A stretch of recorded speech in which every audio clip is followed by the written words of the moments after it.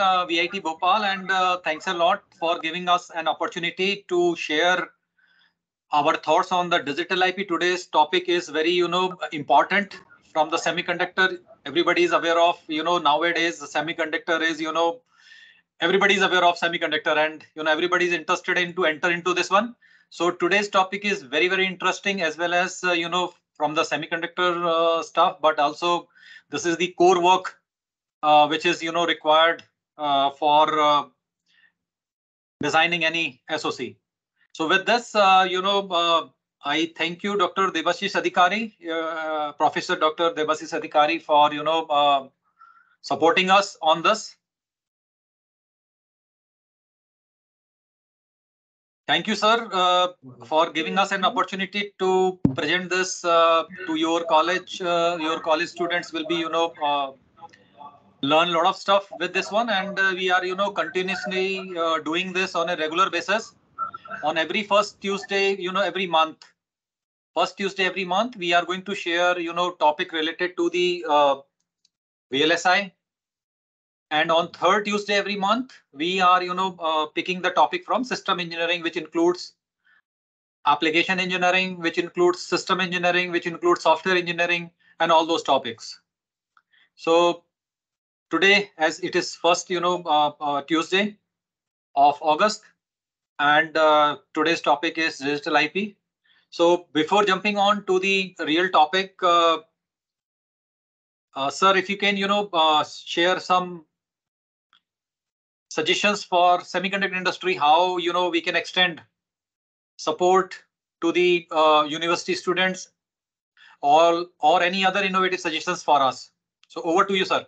Very good afternoon to Dr. Prabjot, uh, Mr. Manish, uh, Mr. Ashish, uh, and I believe uh, Ms. Jhalak Gupta would also be here. Uh, very good afternoon to all of you. And I am uh, really excited that uh, you have chosen us to interact with our students.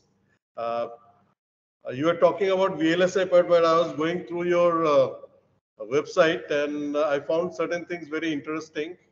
Uh, uh, like uh, there is an application for you in the domain of radar systems, as well as I believe you are also working in the physical layer of sub 6D, uh, sub 6 gigahertz to 40 gigahertz. And uh, it's very interesting. Uh, that means also you mentioned about, I think your website mentions about uh, uh, around one kilowatt of power output. That means uh, you are well into your uh, millimetric wave massive MIMO systems, uh, as well as uh, the radar systems. I have worked in radar for 14 years, missile guidance radars in the Air Force, and also worked in wireless communication systems. And you'll be pleased to know uh, that our students, our course curriculum includes all these topics. Uh, right now, they have uh, the undergraduate students, they've gone up to uh, the initial digital communication and analog communication part and uh, signals and systems, all those uh, which are standard courses that uh, is followed everywhere. And uh, we are definitely giving a very important thrust uh, to the VLSI domain as well as MEMS, embedded systems and IoT. And uh, our post-graduation specialization is in VLSI. And uh, we are very well equipped with uh, good human resource, uh, very good faculties, and we are improving our human resource further by including much more qualified faculties. So I should say that uh, all of us are quite qualified enough. And uh, we are having a good collaboration with IIT Indore uh, as far as this project collaboration is concerned regarding VLSI and embedded systems. Uh, we have good software. We are in the uh, procurement process of Cadence. Uh, and as well we already have IntelliSuite. Our course curriculum uh, goes around uh, uh, analog and digital VLSI for the postgraduate students, as well as ASIC design and FPGA based designs. so well into this game. And I'm very confident that our students would do very well in this area, uh, both the undergraduate as well as postgraduate. Like I said in the start, uh, that I was impressed with your communication part. We have very good students who understands very nicely about the physical layer concepts. So uh, you, uh, it will be very good if you can give certain opportunities in that area, in that domain also, uh, like wireless systems uh, with MIMO and massive MIMO systems. And I am again grateful to all of you to uh, provide a chance to our students to interact with them. And thank you so much. Thank you once again. Uh, you will get all sort of support from our side. Uh, that is guaranteed. And whatever uh, uh, whatever suggestions you make, we will go ahead with those suggestions to tweak the syllabus or tweak uh, whatever is possible as per your requirement. And that's it from my side. Thank you. Thanks a lot to all of you. Thank you. Yeah, thanks a lot, uh, Professor Dr. Debashish Adhikari. You know, uh, I just, you know, uh, learned about you that uh, you have a very rich experience from Indian Air Force, uh, you know, working on this uh, all radar and missiles and all. Thank you, first of all, for all your services to the nation. And yes, you are also, you know, sharing those experience with the students, you know, as a faculty member in the in this organization. So thanks a lot for all those things. But yes, NXP is also, you know, world leader in automotive uh, radar uh, applications.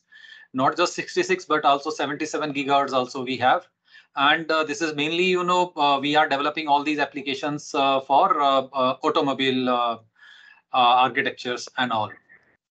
So with this yeah for sure you know we are going to collaborate on this topic. And ashish ji is the single point of contact from nxp india side uh, you know, he can coordinate with you and we can see how we can, you know, jointly do some research uh, project uh, on this topic. Very interesting topic.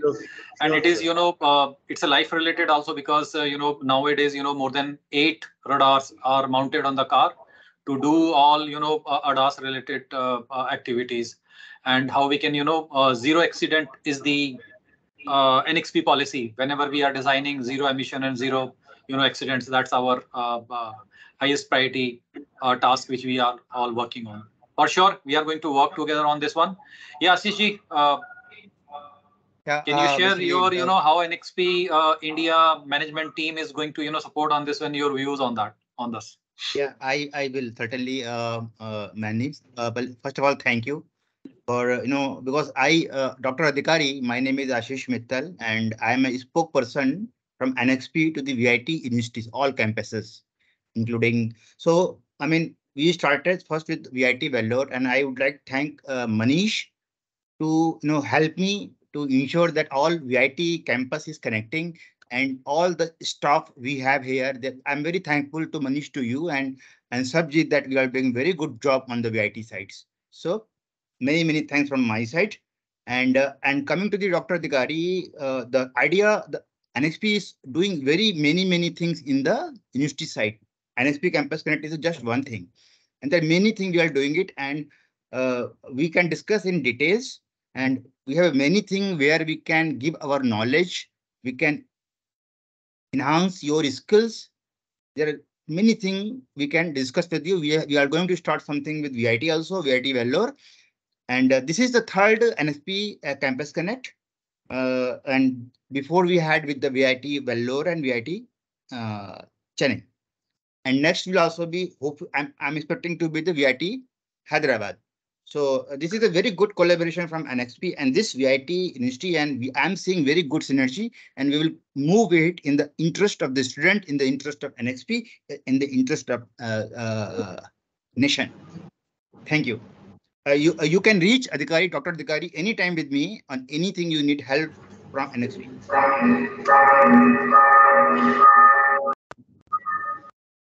Yeah, Ashishji, thank you. And we have to take this, you know, uh, relationship to the next level. Let's see how jointly we can work together and, you know, uh, how we can share new technologies and introduce all these things into the VIT campuses.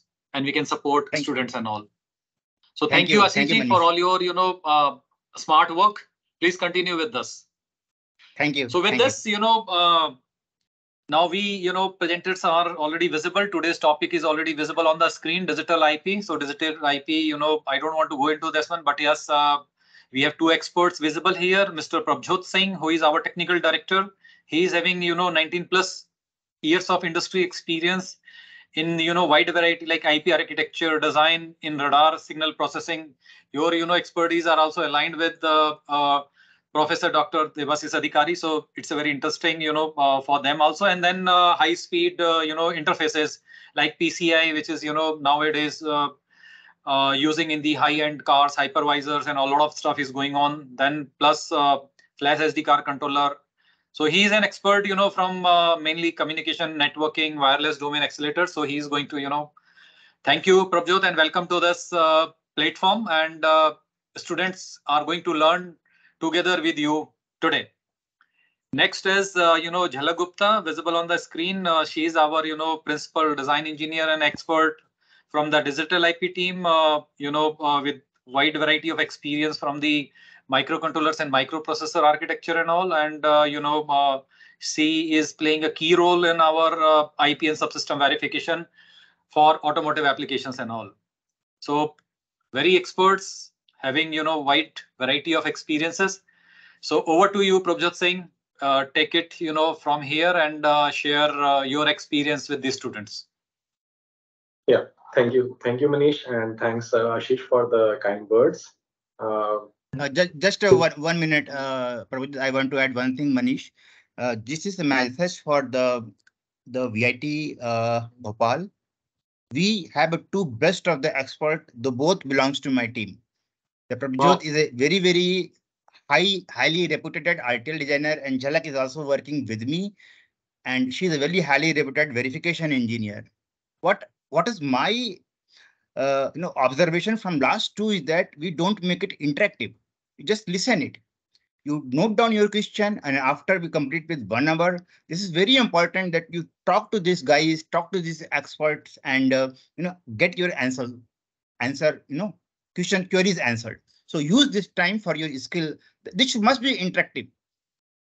Yeah, yeah. So uh, uh, I think uh, uh, discipline is also very important, and I thank you for your suggestion, Ashishji. So what we can do is uh, we can suggest you to type your query immediately on the chat box, whatever yes. you know queries you have.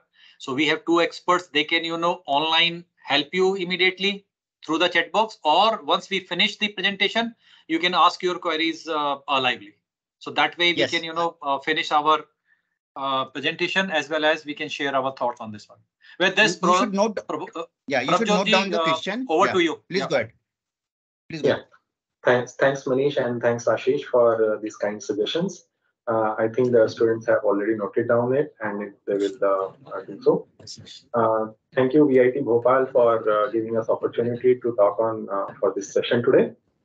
so the uh, the topic of today's session is digital IP, an overview of design and verification flow. So on this topic, uh, I'm Prabjot Singh, as already mentioned by Ash, uh, uh by Manish. I'm uh, working on the design side, and Jhalak, along with me, she is handling the verification domain. So we will try to go over these two domains together along with you. Um, as you know, in in a digital design flows, uh, there was a time that uh, the designs was very small and there are uh, logics which can be simply created by using gates or the flip-flop designs. but now with the advancement in, in technology nodes and as well as the EDA flows, the design has become very complex. And um, um, so that, and you can uh, basically introduce uh, complex uh, digital signal processings or uh, convolutional neural network uh, algorithm onto the onto the HDL codes or into the Verilog codes. So with these advancements in, in, in the technology, it is very important uh, to understand the challenges and the, the des new design flows or processes which needs to be followed so that the design, once it is released to SOC or when the silicon is fabricated out of it, uh, is is bug-free or it can be used at, a, at a successful rate at the, at the application level. Uh, with this note, I'll, I'll jump to the next slide. Yeah, so uh, digital IP. So what we understand from digital IP, uh, most of uh, the students in, in college times have learned about uh, the concepts of uh, uh, AND gates and sequential logic like the flip-flops or latches. And also they understood the timing diagrams, how the state machines needs to be coded or needs to be functioned, right? So digital IP is, is the designs which consist of all these components and it can be coded or written into some sort of high level uh, description language like Verilog or VHDL. So why we call them digital IP? Because they process the information in the form of uh, bits, uh, zeros or ones, and they uh, provide the output also in the form of binary outputs. Uh, and they, uh, these HDL codes can be mapped into your standard cells uh, and NAND gates or gates or the flip-flops which are available from standard libraries. So let's start with uh, with the story of a uh, of a college student who has understand this concept of digital design. He's confident of designing or creating the digital designs like small FIFOs or FSM logic or clock logic, right? So now he he wants to understand or explore more on in, into the VLSI industry and when he enters the VLSI industry, he comes up with different new terms. Um, for example, the DFT design for test. Uh, then there are STA static timing analysis. Uh, then there are CDC clock domain crossings or performance or specifications. So all these terms uh, needs to be used or needs to be explained, uh, needs to be used at, at his day-to-day -day life uh, to create or to work on a digital IP domain. Uh, so he, uh, so in this session, we are trying to explain you all a bit about these terms and correlate with uh, with the design and the verification flow of, of an digital IP. So with this uh, background in mind, uh, let's cover what we are uh, going to cover in the agenda today. Uh, we'll start with digital IP, which are the building blocks of any SoC. What are the different types or functionality of a digital IP? Then what is the typical block diagram of any digital IP? Then after that, we will cover uh, the design and the verification flow for a typical digital IP, and then the example portfolio uh, which NXP currently, uh, currently has on different digital IP uh, designs, followed up with uh, conclusion and the Q&A.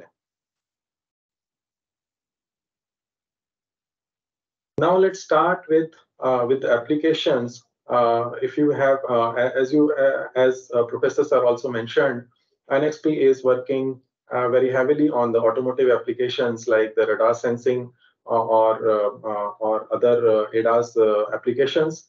Um, so with these applications, for example, if you have a radar sensor which which is available in the car, which can be used to detect uh, or to assist the parking assist uh, application in which the radar sensor can be uh, can guide or alarm the the driver whenever it sees any obstacle very near to the to the car right?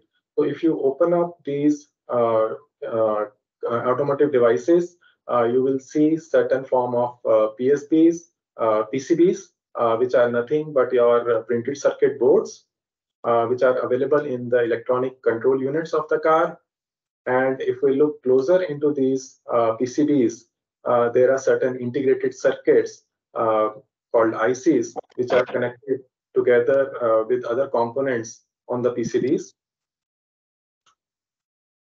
And if we just peeled off the upper layer of the integrated circuit, uh, then you will see some sort of uh, uh, this picture in where the silicon die is in the center and it is connected to the periphery using the wire bonds. And so now if we look at further into the uh, into the silicon die. So uh, this is how the typical uh, die layout would look like, where it consists of Uh, different uh, uh, design blocks like cores, your memory systems, your um, external interfaces, or any other accelerator or any hard IPs which are available for for integrating or interfacing with the external world. So with this uh, design or the SOC picture in mind, if if we start with what is what is an IP, right? So IP uh, normally stands for intellectual property, which is although a very generic term, uh, it can be used for anything which has been patented or uh, novel in, in any any domain. For example, there can be IPs on on in the software domain. There can be IPs in the in the medical uh, area also. Uh, but in context of VLSI, if I look at uh, IP blocks are nothing but your design blocks, which are basic uh, building blocks of any complex SOC and which can be reused across different SOCs to create different applications. So to understand it further, uh, let's take an analogy of any IP block with, with uh, Lego blocks, which are available in, in different shapes or kinds. And you can connect these Lego blocks to create different structures or shapes like any hospital or building or any, any other uh, model for, for school, etc. So if I look at those Lego blocks in, in closer, uh, then uh, you can find the find out that there are certain characteristics those Lego blocks have, which makes them uh, uh, uh successful in in creating those complex structures. The few of them are they should be they should be standard in size and such that so that they can when they combine with other Lego blocks, they should be able to create a different structures in it and they should also support standard interfaces so that it is easy to interconnect with other blocks uh, and help them the integration uh, and reduce the time of integration. So similarly, uh, if we look at the, what are the different prerequisites for any digital IP block, the first one which comes to our mind is the design reuse. As I already talked about, uh, the IP blocks should be created in such a way that it should be reused across multiple applications. For example, if we have a Ethernet controller IP, and um, uh, it should be usable in in the uh, low-end devices like the edge device, and whereas also it should be reused. We should be able to reuse those uh, IPs at the at a very high end, like the server, uh, uh, where multiple data streams are are combining together. So to make sure that the IP blocks are reusable across different uh, platforms or different applications, we normally parameterize or bound those IPs with, with parameters and uh, which helps them to optimize as well as make them reusable across different applications.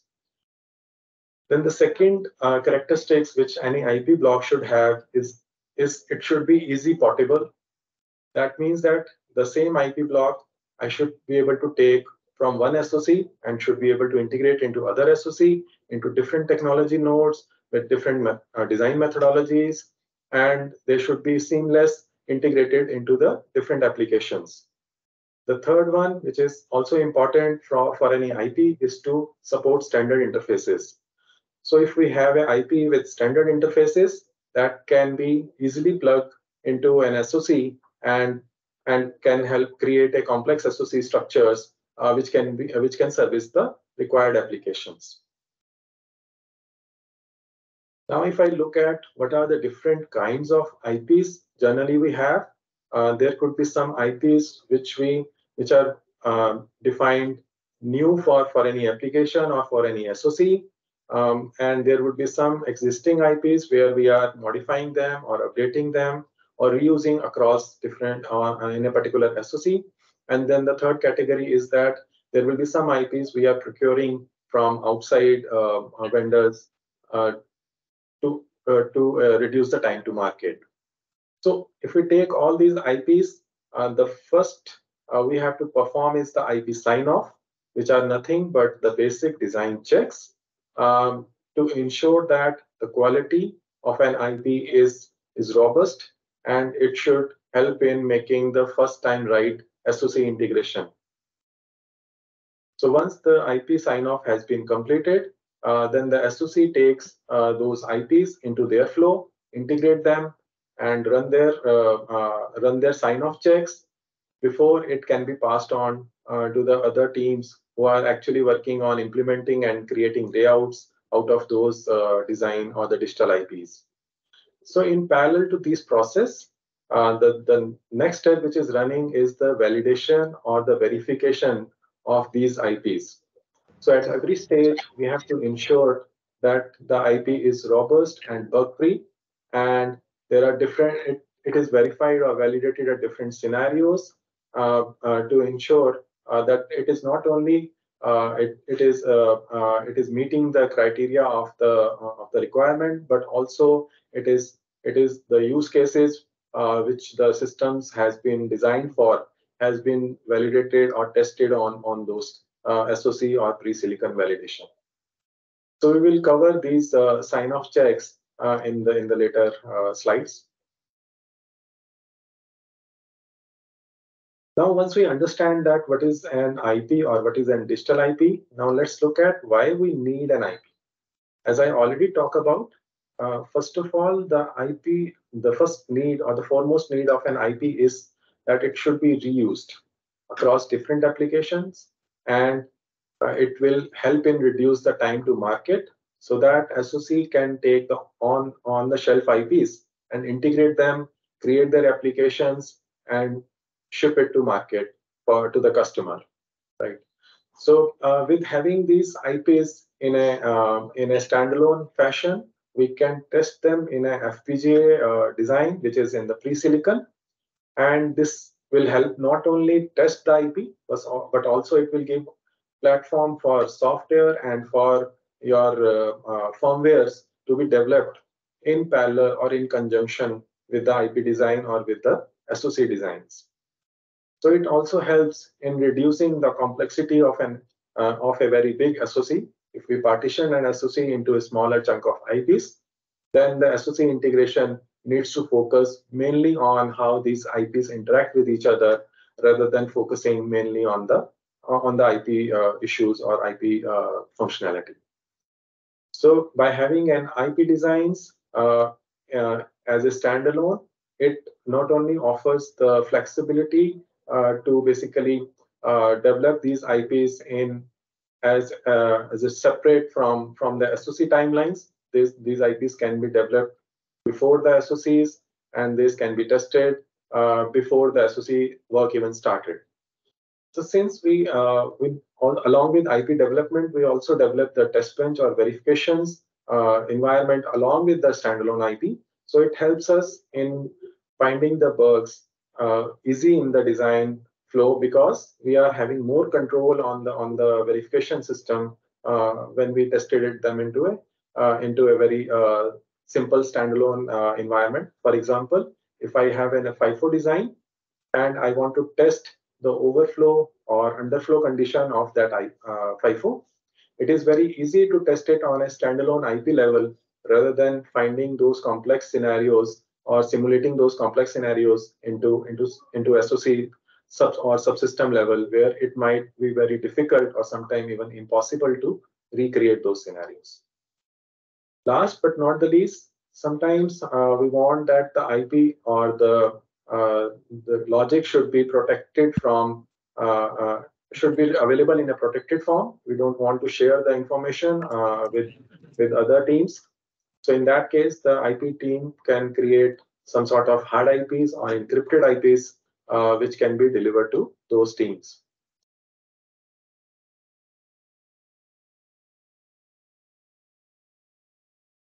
Now, as we understand why we need an IP, let's look at what are the different types of IP blocks which are available in industry or in, in NXP as, as, a, as a general. Uh, there are two types of IPs available. First one is the soft IPs and second one is the hard IPs. So what do you mean by soft IP? Soft IP is an IP which is coded in the form of either HDL code or it is available in the form of netlist. So SOC can use these IPs, uh, create their own placement and routings uh, uh, and the layouts, and it can be uh, uh, it can be customized to any technology nodes as per the need of the SOC.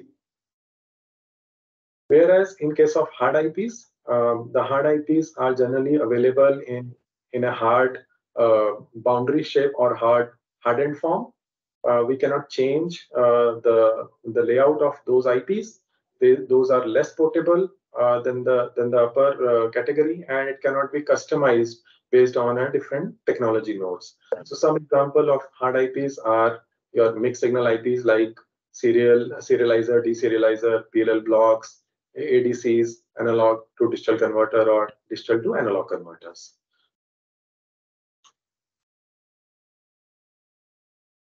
Okay, so as I talked about earlier, IP is basically the building block of any complex SOC.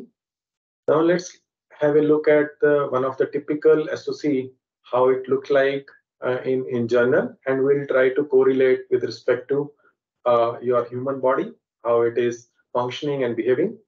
For example, in, in, in this uh, SOC, if you can see on the top, there are multiple or couple of cores available, which can have their uh, own caches or memory management units. Um, so you can correlate to these cores uh, with, with the brain of your body, which is actually controlling uh, the complete body and other uh, functioning of the body. So similarly, the cores and the software running on these cores are actually controlling the different peripherals and the other uh, systems available in, in this SOC. Uh, apart from these cores, there can be uh, DMA blocks, which are used for data transfer from one memory region to another.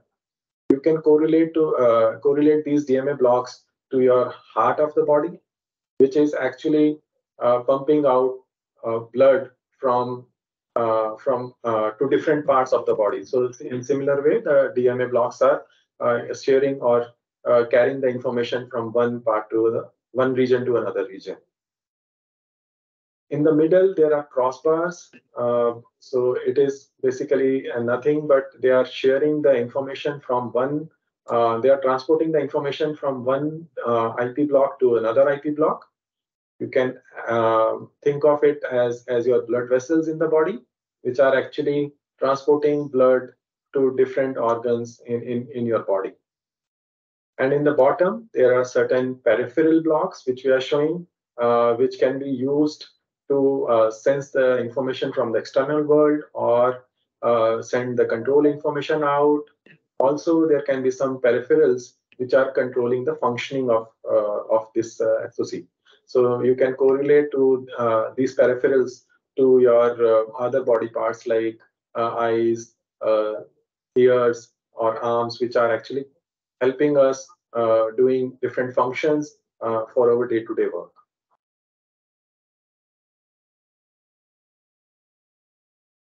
Now, after understanding how the typical uh, SOC looks like, now shift our focus uh, back to how the IP blocks uh, are designed or how the IP block is uh, will look like in general or in a typical manner, right? So uh, normally any IP block uh, basically have the clocks and resets.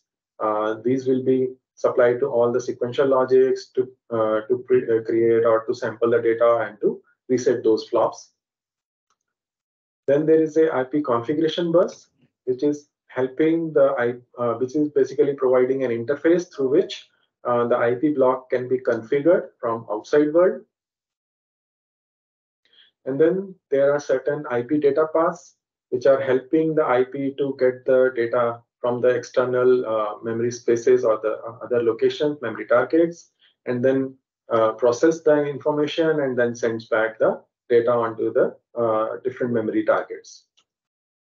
And there will be certain uh, chip interfaces uh, which will help the IP block to interact to the external world or external ICs which are available on the PCBs. So the, apart from these, there can be certain miscellaneous signals or uh, control and interrupt information, which helps these IP blocks to get integrated uh, into a uh, into a complete uh, SOC. Now, if we look inside an IP, uh, what sort of structures are available within a, a, a typical IP? First one which comes to our mind are the control and the status registers. So as these IP configuration buses are connected to an IP, so those are actually used to read or, or access these control and status registers. These are nothing, the control registers are used to control the different functionalities of an IP. And then the status, inform, uh, status registers are used to get the status information of or uh, of an IP or any particular task which the IP is running on uh, can be accessed uh, by by the software using these status registers.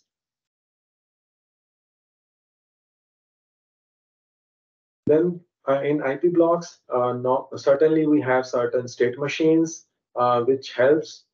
basically, you can think of that if an IP block is doing a particular function and that function needs certain steps to be followed, then normally we code those steps as part of state machines and their transitions. Uh, it helps in uh, in creating those uh, or stitching out different steps into a into a complete function.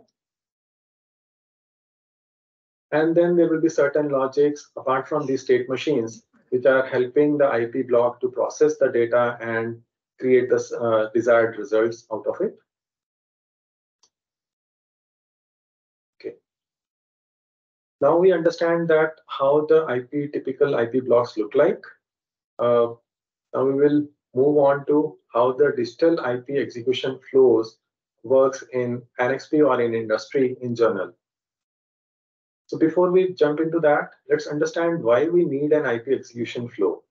As I talked about earlier, the, the, with the increase in complexity of any IP, it is very important that we should follow the standard guidelines or standard uh, uh, practices and the processes to ensure that the, the IP which we are creating are first time right and results into zero defect at, at silicon level. To achieve that goal, uh, there are uh, certain execution flows which we follow in NXP and in general in, in industry as well. Uh, so the first one is that once the, it has been approved or it has been requested that there is there is a need for an IP, the uh, systems teams or architecture teams define the macro requirements at a uh, for an, a particular IP, which defines those requirements at a very high level. Then IP architecture team, along with other team members, create the detailed architecture definition for uh, for uh, for an IP which satisfies those macro requirements. So in parallel, the verification or the validation teams start thinking about the verification architecture or the pre-silicon strategy or the architecture which needs to be followed for verifying or validating those IPs. Once we create these uh, uh, architecture definition for a particular IP, then the next step is to convert those architecture definition into RTL codes or HDL code, which can be then further synthesized at uh, or integrate at SOC level uh, to create the SOC implementation. So in parallel, the verification team start building upon their standalone test bench stimuluses, checkers, and monitors. And, and also the pre-silicon validation team do so uh, uh, for their FPGA platform. Once the RTL design or the Verilog code is ready, then uh, as I as I discussed earlier, there are certain IP sign-off checks which has to be run or followed at an IP level to ensure that the quality of an IP is is maintained and and the structure is is uh, is any uh, is defect free. So these are certain uh, checks which we follow. First one is the lint check, and followed by CDC, synthesis, and DFT. So we will talk about these uh, checks in later slides in more detail. So similarly, the verification team uh, in parallel run the functional verification flow and test or uh, hunting do the bug hunting in the design and ensure that the complete design has been fully verified or validated at a standalone level before we ship it to uh, to SOC for their integration. Apart from uh, these checks, uh, there are certain performance, power, and area requirements which we also need to adhere to during the IP execution flow.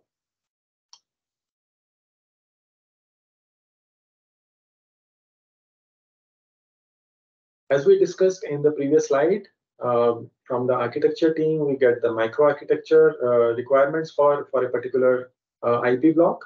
Then IP design team or the architecture teams create the uh, detailed architecture definition, uh, which includes definition for all the interfaces, all the state machines, all the registers, which which will be providing as a uh, which will provide a software view of, of that IP to the to the software, and and then the RTL design or the coding work uh, starts uh, in in uh, for for that particular IP.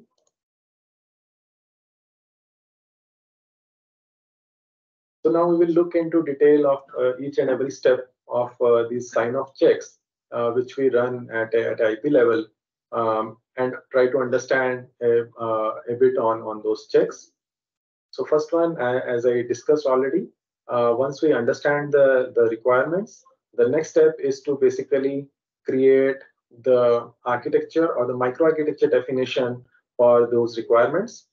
Uh, and then uh, which uh, basically provides information about all the state machines, the your register sections, interfaces, uh, which will completely define the IP as a as a whole. Once we understand or define these uh, these things for a particular design block, then we start the RTL coding uh, or the HDL coding, uh, where we ensure that whatever we are coding is is as per the uh, the valid syntax of a particular Verilog language or a VHDL language, right? So that conversion uh, is is then done by. Uh, uh so these processes are all manual, um, and normally we for uh, documenting the microarchitecture stuff or the documenting the other information about the IPs, we use certain um, uh, um, documentations like uh, the register models, or which we will talk about later, and then certain other uh, documents. Mm. So now let's look at uh, what are the different register models. So as I uh, as I talked about earlier, uh, any typical IP has certain registers available, which can which you can think of as a as an interface from the uh, which can be used by software to interact to that IP. So these registers are generally memory mapped in a particular SOC or in a, in a system, and through which uh, the software can write or read from from these registers. So typically there are certain sets of control registers available for a particular IP, which helps in controlling the functionality of an IP.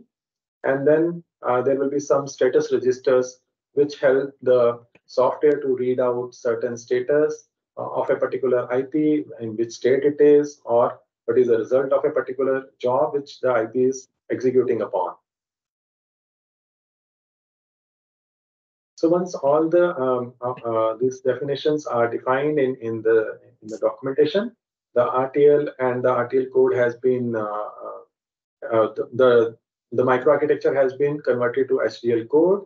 Uh, then we also have to ensure that in the HDL, in the HDL code, the designs are modularized in, in such a way that the subblocks or the different partitions of an IP can be reused across different Uh, uh, uh, different IPs or at at different applications. We can reuse those blocks.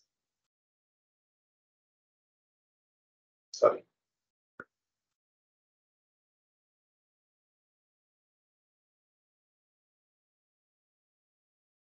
Once the RTL code or the HDL, uh, the HDL code is available, then first step, which normally we performs is the lint check. So what is lint check? Lints are basically uh, your, um, you can think of them as a syntax uh, check for the RTL code uh, in which we verify that or we validate that the RTL code which we are which we have written is compliant to the uh, language uh, LRM language uh, requirement, and as well as it is aligning to the best practices and the coding guidelines, which normally every company has uh, in, in their system. So how do we do those lint checks? Uh, those are performed by uh, certain tools like HAL or Spyglass. Uh, every EDA company has provided their own set of lint checks, lint tools. And the input to these tools are, apart from the RTL, uh, you can provide them the design constraints in the form of clocks, resets, as well as the other rules or policy files based on which you want to do these, perform these lint checks. So the output of this uh, lint check are in the form of errors and warnings, which design team needs to review and dispose of by either by changing the design or uh, by talking to the to the tool vendor and understanding what is the uh, whether those can be waived or not. And then once all the errors and warnings has been cleaned up, then the RTL is ready for the next stage. So once the lint checks has been cleaned up, uh, we normally uh, do the does the clock domain crossing checks. So what is clock domain crossing? So in many IPs, there are multiple clock domains uh, uh, on which that IP is working upon. And whenever the data is flowing from one clock domain to another clock domain, there is a possibility that the destination flop, uh, that flop which is working on the destination clock, can go into metastable state, or there can be result of uh, uh, data loss at the at the destination. So to avoid these uh, uh, uh, these errors or these conditions, designer normally put the clock domain crossing structures like multi-flop designs or there are asynchronous FIFOs which can be used, or MUX synchronizers can be used. And and uh, in, this check, we try to validate and verify that all the structures, required structures on the CDC path or the clock domain crossing path has been in place, and there is no uh, metastability condition or no data loss which can be observed at the IP level.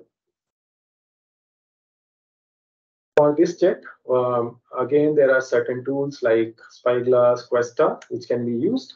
And uh, apart from RTL code, we need to provide them certain uh, information about the clocks and the resets. And also, it is important to give the I/O constraints, which means that all our input output of an IP needs to be uh, defined as uh, or needs to be correlated to, to those clocks and resets. As an output, the tool provides all the uh, structural errors and warnings uh, for the structural and the functional CDC checks. And then the designer needs to review those errors and either fix the designs or, uh, or uh, uh, update the constraints accordingly.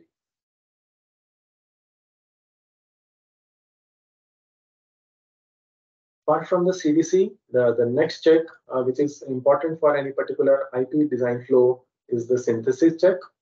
In this synthesis check, what we are trying to do is basically we have written our RTL code in the form of HDL language. Then uh, to uh, to implement it into a die or in a in a silicon, we need to convert them into a gate level netlist, which is nothing but the uh, the gate level view of of that particular HDL code. And then this information can be further passed on to the implementation team, which can convert them into uh, transistors and the layouts uh, and other stuffs. So apart from this, the design compiler or any, any particular synthesis tool also generate reports for area, timing, and power. And this can be used uh, as a uh, as a as a check for uh, whether we are meeting those requirements which we have set during the requirement stage. So in this uh, synthesis flow, uh, it is also uh, checked whether the, there is any um, any any issues or related to synthesis or timing in in the during the during the implementation. To do the uh, timing check, uh, there is a separate uh, static timing analysis check in which basically it takes that netlist which has been generated from the synthesis tools and checks for all the setup and hold uh, uh, checks at the at a different IP nodes or at different flops and ensure that at none of the IP nodes uh, the setup or hold uh, checks are failing and then uh, then only at different uh, corner conditions which are available for that technology. So then only we can use that IP for a particular technology.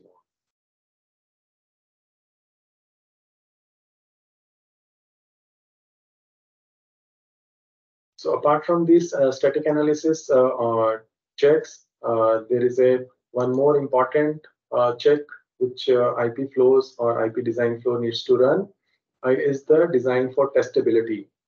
In um, as as I already discussed, the complexity of the design has increased many folds from the past, and so there is a need to insert or to put some designs which can be used to check the uh, the manufacturing faults in in the design. So, uh, for example, uh, if you want to test for uh, uh, for a stuck-at fault or the uh, for any manufacturing defect in the in the design, what we need to do is basically, let's say, take a, let's to look at the typical example of any design which has multiple flops in it, and uh, after the flops, there are certain combinational logic, and they are providing the output to the next stage. To make it uh, DFT compliant or to ensure that uh, the design can be tested after the manufacturing for all the defects, we put certain uh, uh, additional logic on top of the normal uh, blocks or the design structures. And in, in this, uh, in on a particular on every flop uh, there will be two new nodes or two new inputs which has been introduced. One is the scan data in and second one is the scan enable. So we'll try to understand how these scan enable or scan data works in a, in a typical fashion.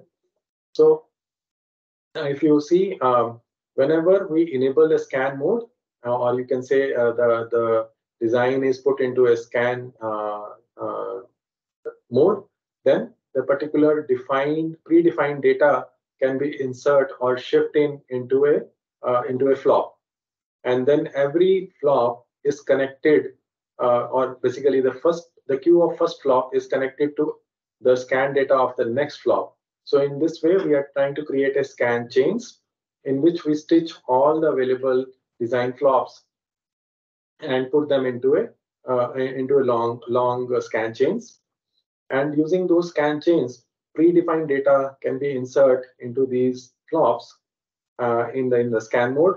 And then uh, to test these uh, nodes, what we do is we put the design again into functional mode and the uh, and the data is is then uh, after the next cycle the data will be captured in the next nodes so uh, from those next nodes, we can shift out the data using these, again, these same scan chains. We can read out the, the information out. And then comparing it with the expected results, we can find out whether there is any defect, uh, manufacturing defect uh, available or present in the design on a particular silicon die or not.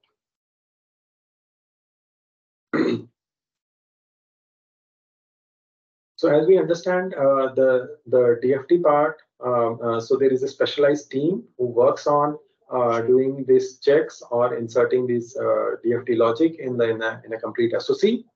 But from a design IP perspective, we also need to make sure that the design is compliant uh, or, uh, to the DFT methodologies or to the DFT structures in such a way that all the nodes of the design whether it's a combinational logic or whether it's a flip-flop, every nodes are controllable and observable from a from a DFT standpoint of view.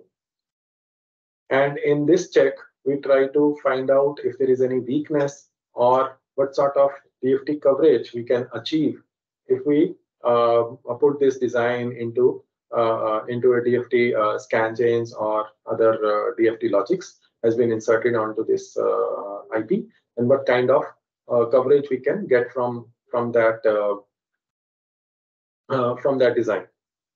So the tool normally we use are the uh, Spyglass or the uh, FastScan or TetraMax. So uh, apart from the RTL, it takes the DFT rule files along with the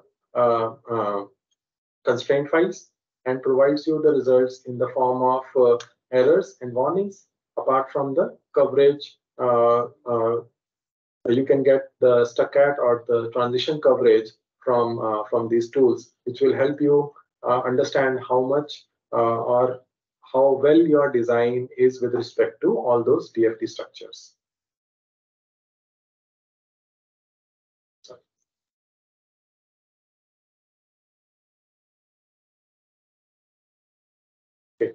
So with this, um, I have covered most of the design checks. Uh, so uh, as we discussed earlier, apart from these design checks, verification team is working on or creating their own test bench at a IP standalone level and to ensure that uh, the IPs are functionally uh, working properly and meeting all the requirements.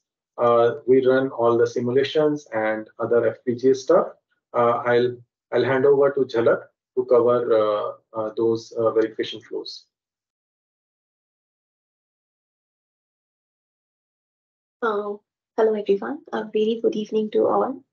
So, um, till now, uh, Prabjot has already covered that what the digital IP is and uh, what kind of IPs are um, there in market or in our industry.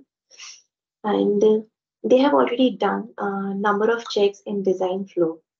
So you can see from here is uh, that I'll be covering the uh, topic of IP verification. So the question might rise in your mind that there are a number of checks that has already been covered in digital design, then why do we need IP verification on top of that?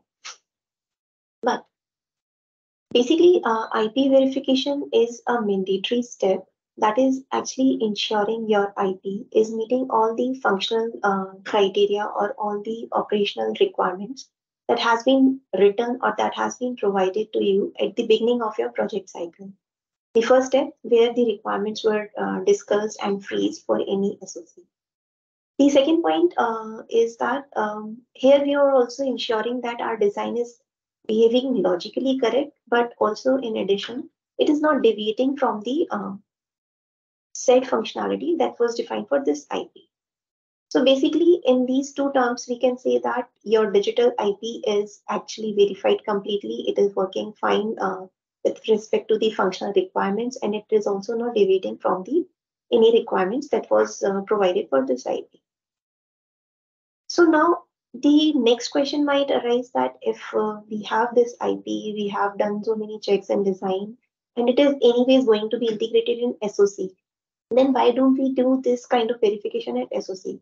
So we have uh, understood in last slides as well that it is not a very easy task to verify these IPs at SOC level because the debug at SOC is not that easy because in SOC you will be having number of IPs connected and uh, to verify or to validate a single IP at SOC level will be a huge task in terms of resource also in terms of timings also. So we are actually providing digital IP that is to be a bug-free IP and also we are actually avoiding the uh, errors or the defects that can come across uh, at the SOC level. So basically, we are left shifting all these stuff, all these uh, tasks at IP level so that we would be able to provide a standalone reusable IP to SOC. That is a bug-free IP and it is easy to reuse and pluggable. In this slide, you can also see that we are uh, talking about some parameters uh, and uh, Prabjot also discussed about this thing that if we want to have a modular IP, then it should be a parameterizable IP where we can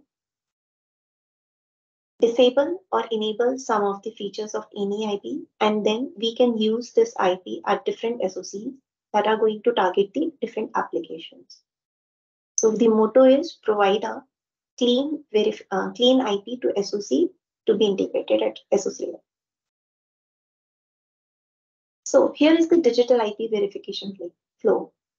So we were having digital uh, design uh, flow also, and now we will be discussing the IP verification flow, where the first step was the approved IP request. So what we uh, got here is we got the number of requirements or these SOC requirements that were uh, a big level of requirement that what uh, this what our SOC is going to target as an application. So what we did with those requirements, we divided all those requirements at micro, macro level so that we can map all those requirements to different IP levels. So when we'll be connecting all these IPs within a SOC, they'll be targeting a specific application. So at that point of time, after we got the requirement, we uh, created the architectural definition also, like uh, what kind of design it would be, what kind of uh, state machine, what kind of ports, what kind of registers we'll be having for our IP. So that kind of architectural definition is also being freezed. Now RTL design phase comes. So where RTL design is happening in parallel, we are also working on the verification strategy. So here you can see that we have two regimes, uh, verification and pre-silicon validation. So first I'll be taking you uh, guys with uh, verification strategy. So what we are targeting here is in verification strategy, we are uh, starting with the test plan. So we got the requirement. Now we also um, know that this kind of architecture definition would be. Now we'll be uh, defining the verification plan for that IP. So let's take an example of FIFO block. First in FIFO block, uh, first out FIFO block. So let's take few of the requirements like um, your FIFO is of the uh, depth size 8. And along with this, we are also uh, saying that uh, when we are reaching to the 8 depth, we are going to send an interrupt to the outside world or it can be captured in your status. Other than that, when we are saying that these two are the requirements, we are also saying that when we are going beyond the depth 8, basically we are saying that we'll be uh, giving a status that there is an overflow error. Now, these are the three main requirements. So this is the part of our test plan. Now, the next step, uh, next step is test bench architecture or infrastructure identification or planning. So what are the major components of our test bench? The first component is test case, stimulus, or the input that you are going to provide to your DUT. Second component may be driver. Then you can have checkers, monitors, and scoreboards. So basically, um, I'm taking here all these examples because uh, we are right now working on UVM. So these are the one, uh, one of the major component of uh, this kind of test bench architecture. So now you have plan, you have uh, structure ready. Now we are going to the next phase, that is the execution phase. So what we have done here is we have written a test case for FIFO depth 8 check. Okay, and we are actually driving some inputs to your DUT, which in turn getting uh, basically uh, your driver is uh, driving the DUT with all these uh, inputs. And what is happening at the output of, of your DUT, You are capturing all the outputs in monitor. And later, all these ports, all these outputs, all these status that you have captured in monitor, they are going to the scoreboard where you have written some checks or where you have set some rules that this kind of behavior will be coming. And this must be checked against the expected results. So this is basically the execution phase. So in execution phase, we have done simulation. So another strategy uh, we can also follow for, for the verification of our IP is formal. So basically we are going or we are following both the approaches, the dynamic simulation and the static simulation for the verification of our IP. So here the dynamic simulation is the basic simulation that we and that I have already described till now. You are having a test case, you are driving your DUT, you are getting some output and you are comparing the results. The another uh, flow is the formal. So formal is another approach where um, there are some specific set of rules that has been provided to the tool along with your design. So your tool is going to validate or is going to provide the inputs. Basically, you're not providing any test case in your formal. You're providing the design and the set of rules to formal and the input or the stimulus is getting driven from formal only. So that's how you are verifying or validating your IP against all those set rules. So now your plan is complete, your simulation is complete, your formal is also running in parallel. So basically, how and when you will be saying that, uh, yes, my IP verification is complete or my IP is ready to be integrated in SOC. So we do follow some set of metrics or sign-off criterias like the coverage analysis, metrics collection, and report generation. So here what we are targeting here is that your verification plan that you created is complete. Your all the test cases that you planned for your IP is being complete and they are passing. Along with this, your code coverage is complete. The code coverage we are seeing uh, is referring to the RTL code. Basically, it is saying that each and every line or each piece of code that has been written in your RTL has been complete. It is getting fully exercised all the ports that are coming out or in uh, or the input of your IP are getting covered. They are toggling from 0 to 1 and 1 to 0. And also you're saying that all the expressions, all the condition that has been written in your uh, code is getting covered. The another type of uh, coverage analysis is the functional coverage. So the first that we talked about is code coverage that is actually covering your RTL is fully exercised or not. The another uh, coverage analysis is the functional coverage. This is user-driven coverage. Basically, you are writing some kind of cover points around the feature of your IP, like your FIFO is getting to the depth of 8 or not, whether you are getting uh, the interrupt on the um, on the um, overflow or on the reaching uh, when your when your uh, FIFO depth is reaching to 8 or not. So these kind of cover point you can add, uh, you can have in addition that can be covered in function coverage. So till now, the sign-off criteria for IP verification is your verification plan is complete and passing, your coverage analysis is 100%, and you are done with this uh, verification. In parallel to design verification, we, we are uh, also having the pre-silicon validation that is that will go hand in hand with verification. So you can see here the term UTP that is basically connecting the design verification and the pre-silicon validation. So basically what we are doing here is we created a verification plan or we created a plan that what we are going to validate or verify for our IP. So there might be some test cases or some scenarios that you want to validate in verification and some of them cannot be validated in verification. So we'll be putting them to pre-silicon validation. So here comes the pre-silicon validation, what we actually do in pre-silicon validation. In pre-silicon validation, what we do is we actually map our IP to a FPGA platform. Our IP means the netlist of our IP is going to this FPGA prototype uh, platform. Here you can see that the red dotted module is the IP that we have developed and that's RTL verification or design verification is already done in parallel. Now this IP is getting connected with the real IPs or with the real system in real time scenario, where you can say that it will uh, how it will look like in real world when it will go to the SOC or subsystem. So you can compare it with the uh, design verification in a way that in our design verification you verified your RTL, but here and the, uh, there uh, with in RTL verification, you were having some models, those were driving your DUT and checking some uh, outputs. But here your IP is connected with all the uh, different IPs that is that are supposed to be in a system. So you can see that there uh, is a PC. it is getting connected to through uh, to your IP through PCI Express and some high-speed serial interface also. So the advantage of FPGA uh, prototype platform or the pre-silicon validation here is we are actually having some additional test cases that can be uh, developed for exactly the user case scenario. So this way, what we are achieving here is we are actually achieving the maturity of our IP. Like uh, we have done number of test cases in uh, digital IP verification, but here we are uh, generating the user case scenario. Other than that, the advantage of uh, pre-silicon is here we are actually seeing the simulation and uh, we are running the test cases in real time.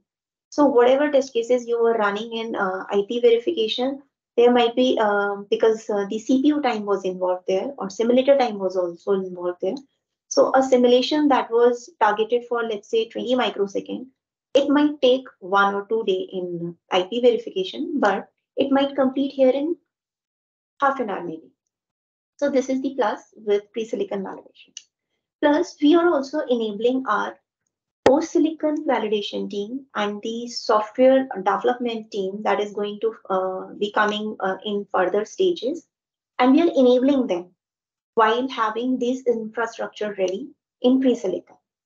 But now the question may, I, uh, may arise uh, in your mind that uh, when we are able to achieve so many things in pre-silicon validation, then why do we need the IP verification in parallel? So answer is we cannot debug any simulation in pre-silicon validation. That means we cannot see any waveform in pre-silicon validation. So we do need the uh, validation for uh, real uh, world scenarios, but in uh, parallel, we also need the IP verification system where we can easily debug the waveforms and we can see how our uh, design is working in actual.